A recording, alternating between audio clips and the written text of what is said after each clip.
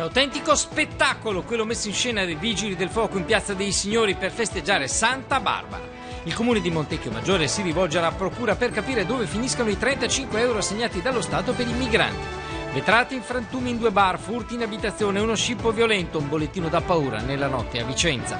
Un operaio marocchino gestiva un traffico di droga dal suo garage di Quinto e la rivendeva in Campomarzo. Zaia denuncia che la situazione delle banche popolari in Veneto è esplosiva, serve l'intervento salvezza del governo.